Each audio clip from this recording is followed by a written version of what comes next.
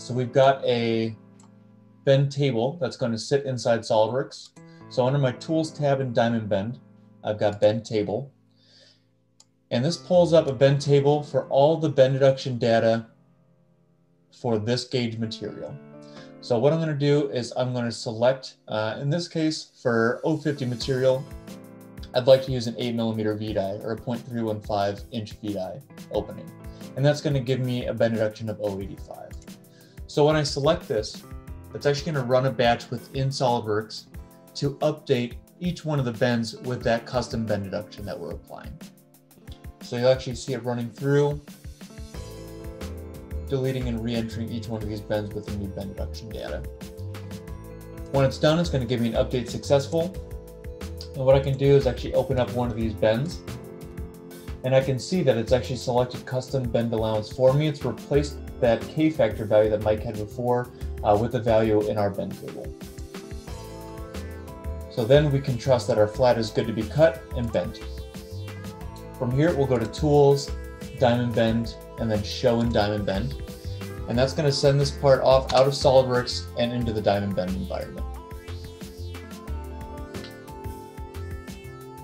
So what you see now is the Diamond Bend environment. I've got the press brake that we're going to be showing today. It's a 135 ton machine uh, with a three meter or 10 foot bed. Uh, and what Colin will show you today as well is our automatic tool changer that's attached to this machine.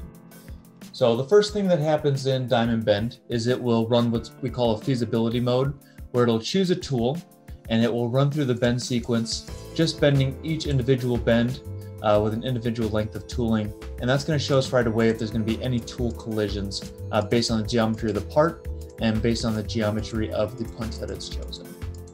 So we can see here that there are no collisions, and I'll go ahead and go to the simulation page. The simulation page is going to introduce the back gauges and the entire tool setup.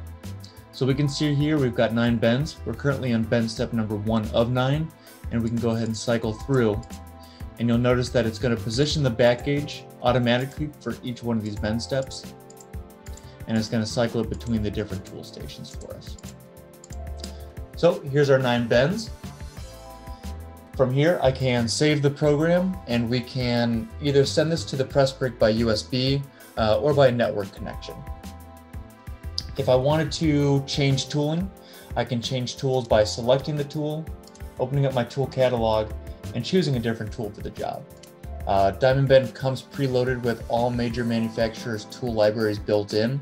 Uh, so all you have to do to set this up is go into your Tools tab, pick your tool style, your manufacturer, pick a tool, and then add it to your inventory. And now Diamond Bend will always consider that tool uh, when it's coming up with the bend sequence.